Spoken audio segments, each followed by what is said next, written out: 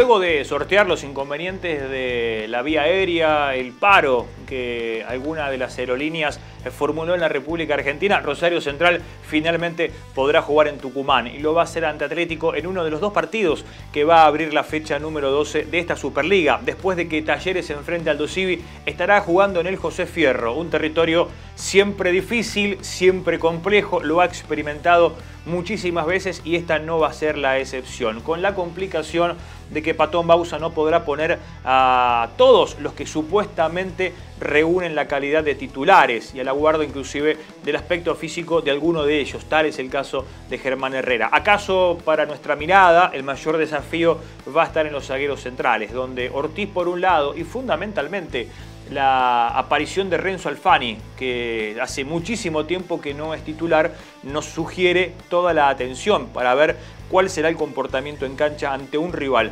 muy afiatado, muy firme, con los conceptos muy claros y con la sencillez que suele emanar en sus palabras eh, Ricardo el ruso Zielinski, con equipos que son inteligentes pero que son intensos a la vez y reitero, en un estadio donde lo ha convertido literalmente en una fortaleza. Esa será la consigna para Central, quedar bien parado, no sufrir lesiones porque la mente y el desafío eh, queda programado para el domingo 18, cuando en Córdoba esté jugando frente a Temperley por una de las semifinales de la Copa Argentina. Con Ledesma como su arquero,